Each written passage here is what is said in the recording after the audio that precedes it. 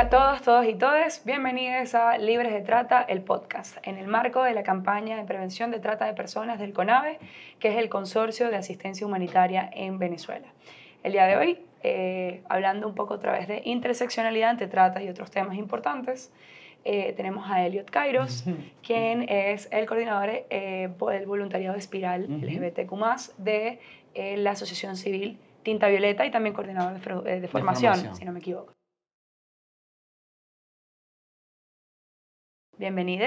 Gracias, muchas gracias. Eh, este es un espacio bastante seguro, pero además me encanta que estemos hablando de este tema porque en el marco, como les decía, de hablar un poco de interseccionalidad eh, sobre el tema de trata y poblaciones vulnerables, creo que es sumamente importante eh, que hablemos de la comunidad LGBT más, eh, y, y, y, su, vamos a decir, su impacto, el impacto diferenciado que tiene en la comunidad la trata de personas, ¿no? Sí, gracias por la invitación. Yo estoy súper contenta de poder estar aquí con ustedes el día de hoy, entusiasmadísima.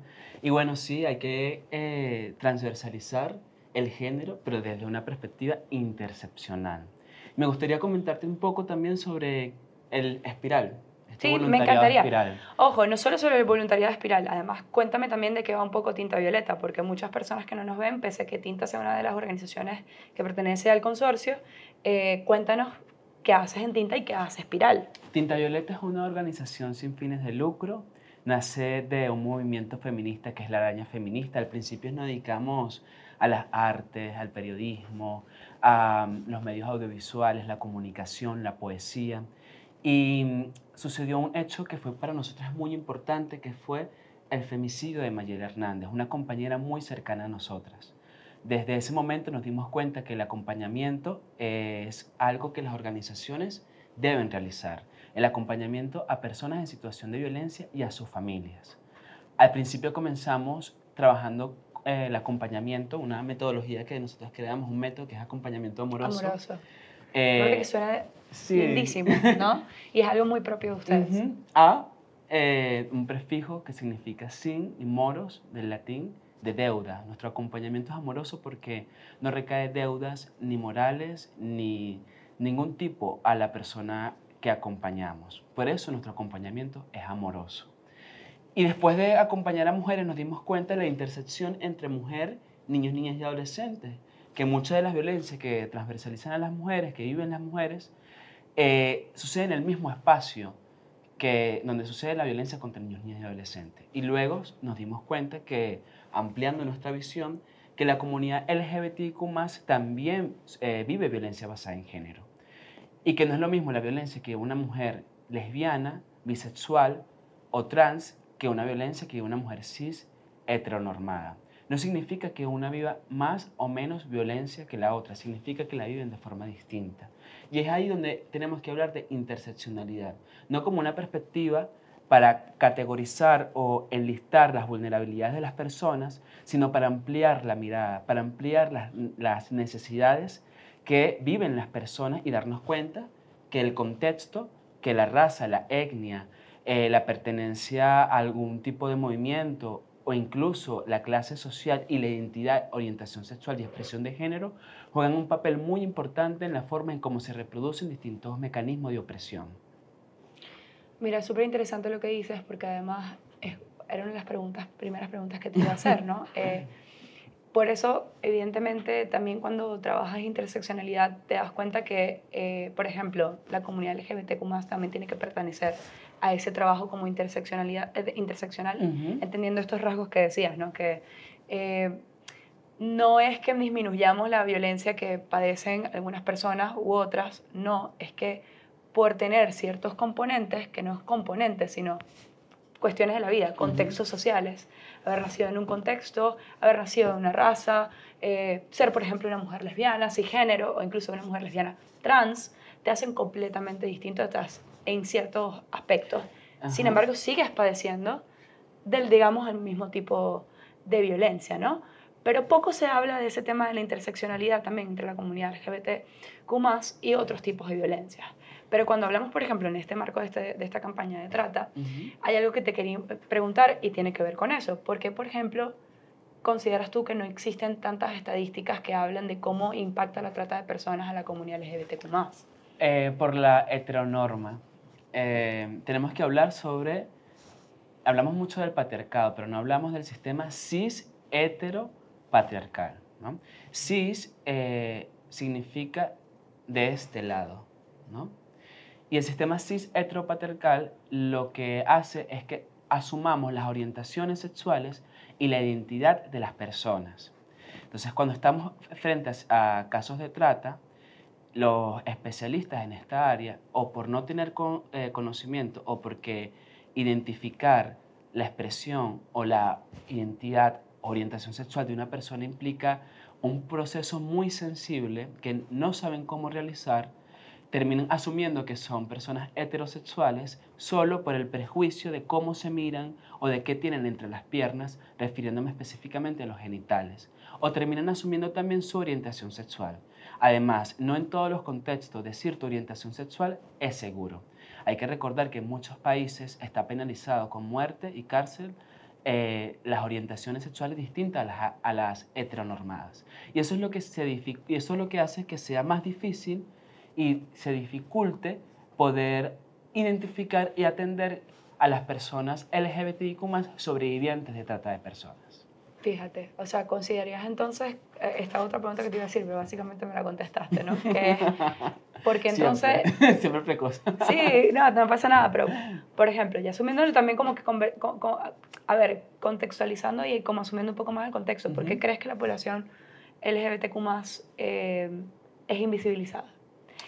Sobre, no solo sobre el contexto de trata, ¿no? Sino en líneas generales, pero claro, atañándonos un poquito, hablando un poquito más del contexto de trata, porque entonces o sea, tiene que ver el hecho del, eh, o sea, que existe un heteropatriarcado que sesga de repente cosas distintas o eh, sexos, géneros distintos, ¿sabes? Como que sexo, género, diversidad diferentes a la heteronormada o tiene que ver algo, o sea, hay algo más implícito en el tema de la invisibilidad.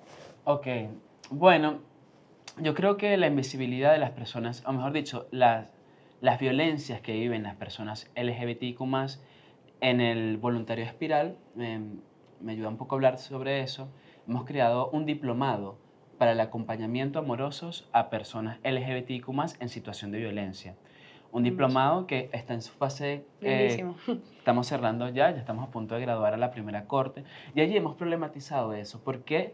¿De dónde viene la invisibilización y, minimizar a las personas LGBTIQ Pues bueno, eso me ayudó a hablar un poco también Em, de la misoginia. la misoginia es el origen o es la adversión hacia lo femenino. Y la misoginia es donde se fundamenta la homofobia o LGBTQ-fobia. ¿sí? La adversión hacia lo femenino en gran medida proviene la invisibilización de las expresiones de género distintas a las heteronormadas. Y tenemos que hablar también sobre las orientaciones sexuales. Las orientaciones sexuales, solo por el hecho de vivir una sociedad donde por lo que tienes entre las piernas se, asume que eres heterosexual o lo que te gusta, eh, trae muchas consecuencias para las distintas identidades y orientaciones sexuales distintas. También tiene que ver con un factor cultural, que tiene que ver con la socialización primaria de los géneros, cómo aprendemos a ser hombres y mujeres, cómo aprendemos a comportarnos, los juegos, eh, los roles, los estereotipos, los, estigmas. Los constructos sociales propios de, de donde vienes, en este caso sí.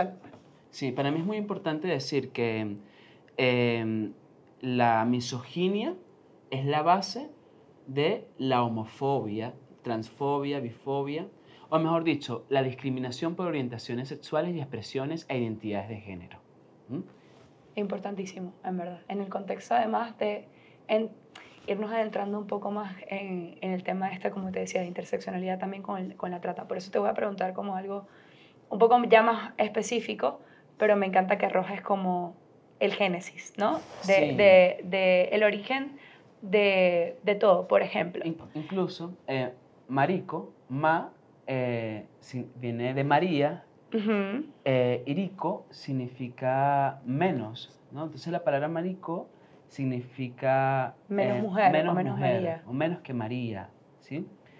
Eh, menos que una mujer, la palabra marico. que... Claro, que el movimiento queer lo ha resignificado. Exacto. ¿no? Pero, Eh, si nos te- hemos apropiado de esa identidad como bandera de lucha. pero si nos, si nos ponemos como a ver también, esto ya va, de esto incluso me entero hoy, a- hoy contigo, pero si nos ponemos entonces analizar ese origen de la palabra, podemos incluso decir que eh, contextualizando el marico como un sujeto queer, Como sujeto como queer, sujeto queer, Como sujeto político. y como sujeto político, justo desde el origen de la palabra, incluso lo estás eh, poniendo menos que la mujer, que ya de por sí es una sujeta De opresión. de opresión. Por eso es muy misógino. Exacto, wow. Estoy aquí, todos los días se aprende algo, ¿no? Pero, pero es interesante y ahí tiene que ver, me encanta, porque, o sea, bueno, no voy a decir que me encanta la, la situación, pero que el mismo origen te explique que esto tiene un trasfondo que viene desde de- del, no solo de la heteronormatividad, sino como dices tú, de la misma misoginia, o sea, de algo que viene propio del rechazo, o mejor dicho, de la otredad hacia la mujer vista como un sujeto di- distinto y no con los mismos eh, derechos eh, y, a ver, eh, posición que el hombre en el sistema patriarcal. eh, pero esto me hace entender un poco por qué también estamos invisibilizados como comunidad, comunidad LGBTQ+. Ujú. O sea, es un tema de, mira, desde incluso los términos que utilizamos, ya estamos siendo sujetos de otredad, incluso de ya la, que, la persona o la sujeta que es, eh, es visto como, como el otro. Menos. E- efectivamente. Y bueno, y, y el movimiento queer ha reivindicado estos insultos. eh, el movimiento queer lo, lo ha tomado como bandera de lucha. eh, este tema de los fenómenos, las personas LGBT como fenómenos. Bueno, esta categoría, la palabra marico, también ha adquirido otro significado y ahora es nuestra bandera. ¿sí? Nos hemos apropiado de eso y lo hemos resignificado para convertirlo en, en una nueva palabra que nos dignifique. Exactamente. Verá, súper importante. Eh, en el contexto también, volviendo ya eh, a, la, A la trata. ¿sabes? A, a trata de personas, porque podemos pasar horas y horas sí. hablando. Eh, hay algo que me interesa saber, ¿no? Y es, ¿consideras que, por ejemplo, las personas de la comunidad LGBTQ+, son más expuestas al delito de la trata? Esa es una pregunta. Y la, la otra pregunta en el marco de esa, eh, ¿cuáles son los factores que nos hacen más vulnerables Ok. ante el delito? Eh, bueno, me, me gustaría decir que, la para comenzar, que la esperanza de vida de las personas trans es de entre 30 a 32 años, ¿no? Y muy similar pasa con las personas no binarias. Es decir, todas, todos y todas somos propensos o propensas a ser víctimas de trata, pero no todas y todos de la misma forma. Las personas LGBTIQ+, especialmente las personas trans y no binarias, pasa algo muy importante con esta población, que es el tema de la identidad. ¿sí? El derecho a la identidad juega un papel muy importante porque al no poder tener derecho a la identidad, que implica el reconocimiento legal y en todas las instituciones de tu nombre social eh, y de tu identidad de género, limita muchísimo el acceso a cualquier tipo de servicios, incluso al trabajo. Entonces, eh, pasa con las personas trans y no binarias que es, eh, lo- y los captadores lo saben. La- los captadores saben que las personas trans y no binarias no tienen derechos a la identidad. ¿sí?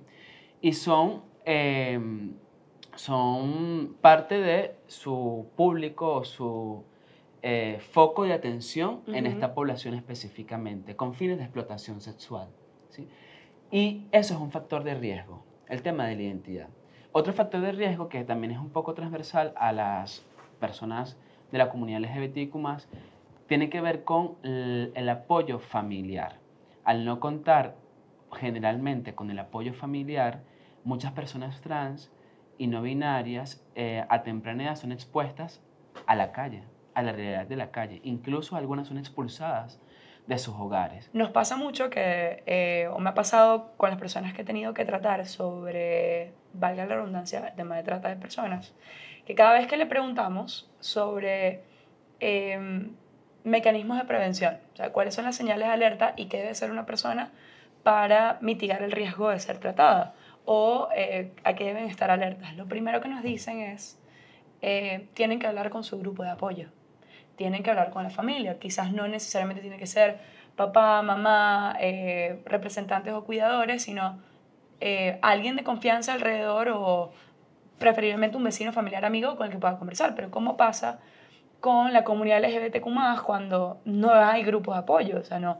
Eh, no me gusta decir la palabra marginados, Ni marginadas en la sociedad, pero si eres un grupo que realmente estás básicamente dejado a un lado, donde no tienes contacto familiar, donde estás expuesto, sobre todo conversamos como que como por ejemplo personas trans expuestos a la calle entre temprana edad porque no están no son bien recibidos ni apoyados ni acompañados por su familia cómo o sea cómo se maneja ese riesgo no frente a la trata. Damos una preguntita. sí eh, sí importante que la familia no siempre juega un factor generalmente no es un factor de protección. Las instituciones tampoco incluyendo los espacios escolares Em, es muy complejo este tema de cómo mitigar los riesgos frente a una situación de trata, ¿sí? Sobre todo porque la exposición temprana, es como te comentaba, a espacios como la calle, como espacios nocturnos. A mí tampoco me gusta este tema de eh, margina, marginalidad. no, y tampoco como minorías, pero en el contexto de las realidades, podemos decir que si existen discotecas específicamente para personas LGBTIQ y otras para personas heterosexuales, entonces estamos hablando de segregación. Exactamente. Entonces, que, eh, la, una forma de mitigar eh, los riesgos de trata eh, tiene que ver específicamente con el papel de las organizaciones que estamos más concientizadas con este tema. En las personas LGBTIQ en espacios tanto comunitarios como educativos, como en cualquier otro espacio o institución, eh, intentamos a veces eh, ser invisibles, porque nuestra orientación puede traernos riesgo. Visibilizar al momento que hablamos de tratas en espacios seguros, que las personas LGBTIQ también pueden ser eh, sobrevivientes o víctimas de trata, es importante. Eso es una forma de prevención o de mitigación. ¿sí? Porque además te permite conversar con, exacto, con los mismos miembros de la comunidad sobre el tema. Pero de repente, y ojo, estas preguntas ni siquiera estaban en el radar, pero como te dije, o sea, eh, nos podemos como conversar como de situaciones que de repente nos vienen a la mente que pueden ser, pero ¿cómo haces, por ejemplo, para concientizar en espacios que no son eh, técnicamente, a ver, para la comunidad, pero donde es necesario conversar. Por ejemplo, a ver, un poco para deconstruir también ciertas realidades y enseñar y un poco educar a la gente a, mira, eh, somos sujetos invisibilizados, pero también padecemos de esto. Hay un pequeño, un pequeño eh, tic o un pequeño sugerencia para poder, en espacios donde quizás no sean seguros para las personas LGBTQ+, poder identificar o poder que ellos te identifiquen, como por ejemplo abiertamente preguntar los nombres sociales. ¿no? Aquí hay personas que tienen nombres sociales. Siempre hay personas con nombres sociales, incluso personas que no son LGBT. Eh, Catherine le dicen Katy, ella se reconoce como Katy, ¿sí? Y preguntar los pronombres personales. Oye, ¿cuáles son tus pronombres en este espacio? Estamos en un grupo, eh, una, una, capacitación sobre trato, en un espacio comunitario. Oigan, este, vamos a establecer los acuerdos para poder el, eh, llevar la intervención. Exacto. Sí, hay personas que aquí tengan nombres sociales. Bueno, los nombres sociales son ta, ta, ta, los aquellos que las personas se identifican. Son distintos a los apodos porque tú escoges tu nombre. Los apodos no siempre los escoges y tienen que ver más con lo peyorativo, generalmente, no quiero decir que siempre. Y allí las personas LGBTI como te van reconociendo. Y son pequeños códigos que pueden de alguna otra forma pasar desapercibido por personas heterosexuales o personas que tienen grandes prejuicios sobre este tema y eh, porque las personas, como repito, heterosexuales tienen eh, nombres sociales, ¿sí? Y ellos mismas los reconocen en estos espacios, pero no va a pasar desapercibido por personas LGBTIQ+. Esa es una forma de poder identificar en espacios, digamos, un poco más amplios cuáles son las personas. Y de repente invitar, ¿sabes? Como a abrir el tema y conversarlo. Como que, bueno, ya identificando, eh, conseguimos acuerdos y puntos en común. Que de repente no somos, eh, a ver, eh, creemos que somos muy diferentes, pero tenemos puntos en común que son sencillos y que de repente a mí me afectan más. Por ejemplo, una persona trans le puede afectar más porque este es mi nombre social, pero yo no, ¿sabes? No, no puedo cambiarlo directamente, ni tampoco puedo recibirlo eh, legalmente al nivel de identificación. Em, pero bueno, eso, agarren ese dato, tomen ese tip, así pueden como también romper un poco la barrera y generar muchísima más empatía para hacer un espacio seguro, en espacios que no necesariamente son espacios de la comunidad. Sí, otros factores de riesgo pueden ser también eh, los problemas de salud mental. Las personas LGBTQ debido a toda la discriminación que reciben, eh, presentan problemas de salud mental asociados con la depresión, ideación suicida, este, ansiedad crónica. Eh, otro riesgo también puede ser la temprana exposición a abusos sexuales y precisamente son más fáciles para los agresores ocultarlos y responsabilizar a la persona eh, sobreviviente. Ah, porque es que, míralo, es un niño que parece una niña, que se comporta como una niña. ¿sí? No, es más fácil eh, responsabilizar a los y las sobrevivientes y las sobrevivientes a razón de su orientación sexual o su expresión de género. Y los agresores se limpian las manos. ¿ok? Y otro factor de riesgo yo también diría que es el tema del acceso a, información de salud sexual y reproductiva y a métodos distintos, por ejemplo, para la prevención del VIH como el, el profiláctico pre-exposición, preexposición. No hay, y para las personas que ya tienen VIH es mucho más difícil a veces conseguir el, el los retrovirales. ¿no? Entonces yo creo que es importante avanzar, que comencemos a hablar de pre, ¿no? de nuevos métodos este, para prevenir infecciones de transmisión sexual y que de alguna u otra forma entendamos que lo que mata es el estigma. Y que una persona con VIH, que además es, es una persona LGBTIQ y que tiene problemas de salud mental, es más propensa a ser captada por traficantes. Es que justamente esa, o sea, pareciera que eh, estuvieses eh, presidiendo mis preguntas todo el tiempo, pero me encanta, porque justo te iba a preguntar eso, o sea, lamentablemente aún existe un gran estigma sobre la, sobre la comunidad LGBTQ+. Eh, y por eso te iba a preguntar, como, ¿hay desafíos específicos propios de la comunidad eh, que se enfrentan, por ejemplo, después de ser rescatados de una red de trata? O, es, o sea, que implican también desafíos frente a escapar de estas situaciones. Ya mencionaste uno importante y es como también tema de la salud mental, ¿no? O sea, de repente una persona que está en una posición, en una situación de calle, eh, que ha sufrido muchísimo durante toda su vida y ya está como expuesta a, a, em, a una red, puede ser más propensa incluso a continuar de repente en esa red de trata. ¿Y cuáles son entonces, por eso te pregunto más, los desafíos incluso para sacarlos de la, de la situación? Vamos viéndola como de dos formas, ¿no? Porque no solamente es el crimen de la trata, sino la violencia que padecen también por ser de la comunidad y además ser tratados. Sí, ahí pasa algo muy interesante que tiene que ver con los medios de vida. Eh, comentaba al principio que para las personas trans, no binarias e incluso para las personas generalmente de la comunidad LGBTIQ, con una expresión de género distinta a la heteronormada, eh, el trabajo, conseguir trabajo es algo, es un desafío. Y entonces terminamos, terminan en trabajos que muchas veces reproducen estereotipos, o, o mejor dicho, es lo que la sociedad les permite hacer, como puede ser ser peluquero, peluquera, estilista, ¿no? trabajar en el mundo este, del estilismo, que está bien, ¿sí? pero también tiene que ver con la cosificación que la sociedad le da a las personas y en dónde la posiciona y qué es lo que pueden hacer. Evidentemente las personas trans y no binarias con un derecho a la identidad pueden hacer muchas otras cosas, pueden tener acceso a mejores trabajos, mejores estudios y educación. Entonces, em, en ese ámbito, yo diría que los medios de vida juegan un papel muy importante. Procurar que existan espacios laborales donde las personas eh, LGBTIQ puedan no solamente ejercer, sino también que su identidad se les sea reconocida, es un desafío que tenemos como comunidad LGBTQ+. Pero eso implica también hablar necesariamente, y puedo que sea un poco insistente en esto, en el derecho a la identidad. Totalmente. Todo pasa por el derecho a la identidad. Eh, absolutamente todo. Y entender también que el derecho a la identidad implica también un, un, montón de otras cosas, abrir un montón de otras discusiones. como puede ser el derecho a, la maternidad conjunta Totalmente. o la familia homo, lesbo o transparentales, ¿sí?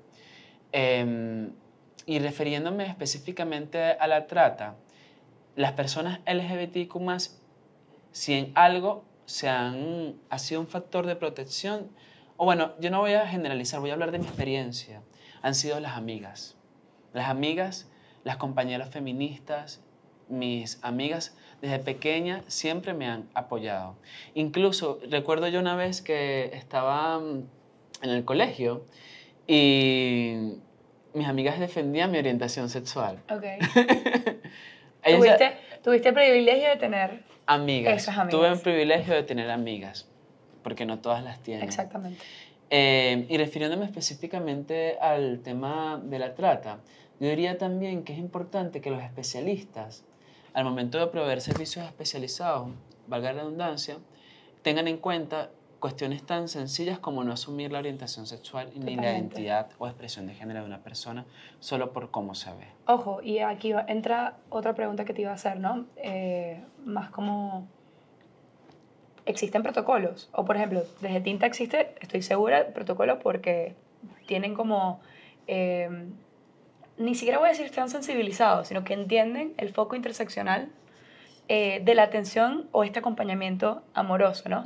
Que no solamente son las mujeres que lo deben tener, sino las niñas, los niños, los adolescentes, la comunidad LGBTQ+, las sobrevivientes también posterior eh, a pasar como, a- sobrevivientes de violencia de género, a pasar, eh, em, digamos, el primer ciclo de la salida de, ¿no?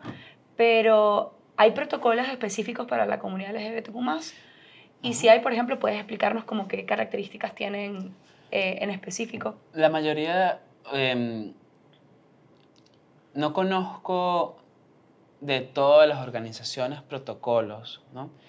Y tampoco conozco estándar, me- no conozco, pero es importante decir que he hecho una investigación para conocerlos y me he topado con que o hay muy pocos o son muy escasos y la mayoría no son implementados en contexto del trabajo humanitario en Venezuela. ¿Sí?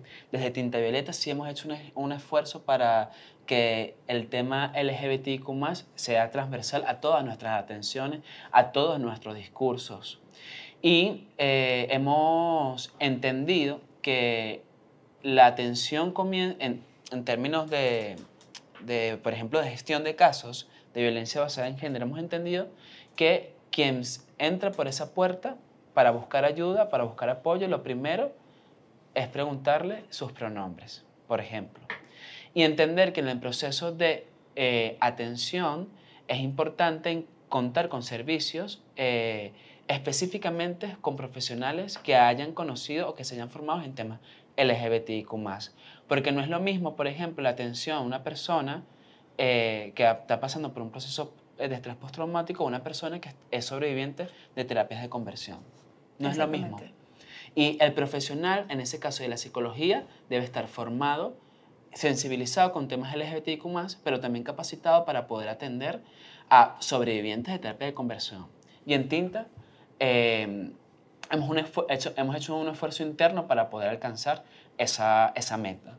Estoy segura que aún nos falta camino por recorrer y el diplomado espiral ha sido nuestra bandera. Pero que están básicamente haciendo un trabajo súper lindo para, para alcanzarlo, ¿no? Y también que sirve de bandera para otras organizaciones de repente para, ¿sabes? Como Ujú, replicarlo, ujú. eh, abordando un tema que se siente que está en la mesa, pero no todo el tiempo está sobre la mesa. Y no es que esté silenciado, pero es que se asume como que forma parte también de lo demás. Y no.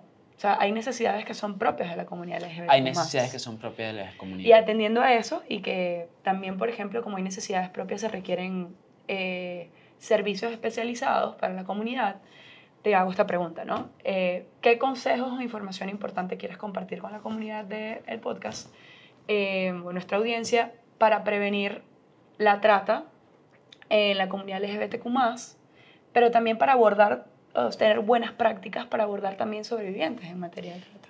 Se me olvidó decir también algo, que los, medios, este, que los medios, por lo general, es el tema del trabajo, ¿no? Eh, los medios de captación, la promesa del trabajo, pero los fines es la explotación sexual generalmente. Y sucede en estudios estudios de grabación donde se graba contenido eh, y este contenido, por lo general, las personas que LGBTQ más que llegan a estos espacios, eh, luego se les endeuda con alojamiento, con comida y por lo general no ah, por el traslado y por lo general no reciben lo que correspondería al trabajo que están realizando eh, con fines de explotación sexual y que la trata puede ser eh, internacional, o sea, puede ser a otros países como España o como en Colombia, donde hemos eh, recibido alertas importantes, pero también puede ser nacional, ¿sí?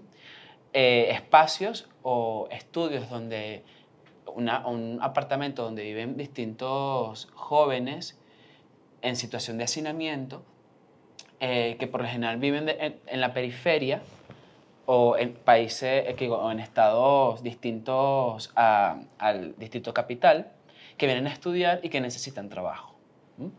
Y, personas muy jóvenes, ¿ok?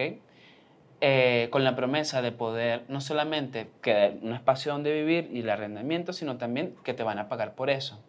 Y eso son formas em, de trata también, de trata interna.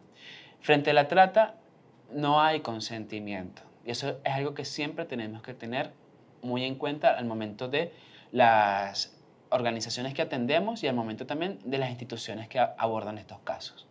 No hay consentimiento porque siempre se consigue a través del el chantaje emocional, la manipulación afectiva y las promesas de un mundo eh, mejor, la promesa de que tu vida va a cambiar o de económicamente. Obtener algo que efectivamente deseas y se valen de ese deseo eh, para literalmente tratar. Exactamente, de las necesidades de las personas, ¿no?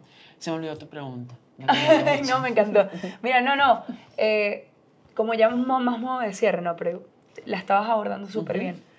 Eh, era eso, como qué consejos le darías también, qué ah, información pueden eh, también, a ver, transmitir o, tienen desde Tinta Violeta que pueda ser eh, de uso no solo para organizaciones, porque realmente no estamos hablando, o, a ver, en, este, en este, estos episodios o este podcast no tiene la idea como de educar a las organizaciones, sino a la gente, ¿no?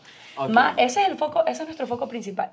Sí, organizaciones, bienvenidas, en verdad, bienvenidas todos. Si quieren revisar esta tinta violeta que tiene excelente información eh, sobre acompañamiento amoroso y sobre todo también cómo hace la comunidad LGBTQI+.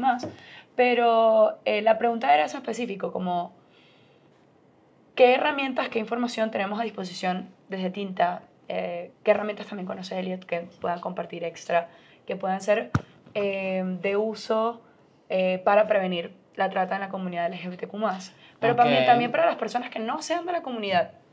Bueno, yo, le diría, informarse. yo le diría a todo el mundo que se postule al diplomado espiral en su segunda corte, que es un diplomado específicamente para el acompañamiento a personas LGBTQ en situación de violencia, y ahí tocamos el tema de la trata. Pero en términos em, como de, de recomendaciones para las personas, recomendaciones para las organizaciones, lo principal es que no se toman decisiones sobre la comunidad LGBTQ sin la comunidad LGBTQ Si tú estás pensando en iniciar un proyecto, si tú estás pensando abordar este tema, si estás pensando eh, un proyecto que tenga que ver con trata y personas LGBTQ tienes que hablar con las personas LGBTQ ¿no? sobre todo si no lo eres. Porque algo que reivindicamos mucho las personas de nuestra, nuestra comunidad que ha sido históricamente patologizada es nuestra experiencia, nuestra experiencia por encima de cualquier teoría, por encima de cualquier paradigma y por encima de cualquier patologización. Entonces, escucharnos, escuchar a las personas LGBTQ es muy importante. Para la familia, para el ámbito eh, como más individual, eh, yo diría que eh, no abandonen a sus chamos y a sus chamas. No los abandonen, no los, no los rechacen cuando muestran o confiesan o revelan que su orientación sexual es distinta a la que ustedes pensaron o su identidad. Y tampoco los golpees intentando corregir su expresión de género. Totalmente. Porque si podemos garantizar un ambiente familiar amoroso para las personas LGBTQ, van a ser menos propensas a ser eh, sobrevivientes o víctimas de trata. Y por último, quizás ha sido como muy eh, repetido mucho esto, pero es que es muy importante, ¿no? No asumir las orientaciones sexuales ni las expresiones de género de nadie, ¿sí?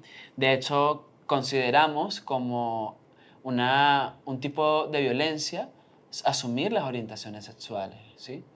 Y por último, por último, por último, siempre, aunque muy eh, repetitivo también, eh, preguntar los pronombres personales y los nombres sociales. ¿Hasta cuándo? Hasta que la identidad de género y nuestra existencia nunca más sea cuestionada. Me parece excelente lo que acabas de decir y siento que es un magnífico cierre para, para este episodio. Eh, sí quiero como recordar, por ejemplo, que Tinta es una organización que hace acompañamiento amoroso a comunidades LGBTQ+, también a víctimas de trata. Así que eh, es un momento bueno para recordar los números de contacto de las organizaciones pertenecientes al CONAVE que hacen atención a víctimas de trata. Eh, lo podemos mostrar acá. Exacto. Esta, esta parte es nueva para mí, los mostramos eh, en este momento. También si quieres, por ejemplo, promover algún servicio que tengan eh, en relación a eso, atención, bienvenida. Bueno, nosotros en Tinte también podemos ponerlo por aquí, los números. Exactamente. Em, los tenemos, los tenemos. Hay unos números específicos de nuestra organización donde pueden este, comunicarse con nosotras.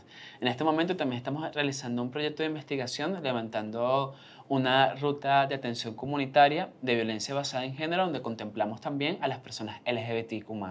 Es decir, cuáles son los servicios disponibles en tema a, en Apure. Un estado bastante fuerte. No, y un estado que también de repente la, o sea, el foco mm, nunca ha sido ese, ¿no? Nunca ha eh, sido ese. Nunca ha sido ese.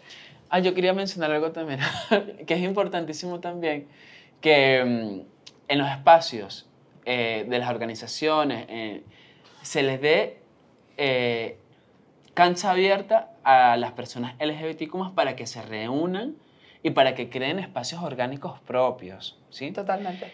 Y sobre todo que las personas LGBTQ más capacitadas en estos temas, con conciencia de género, que también asuman espacios de toma de decisiones.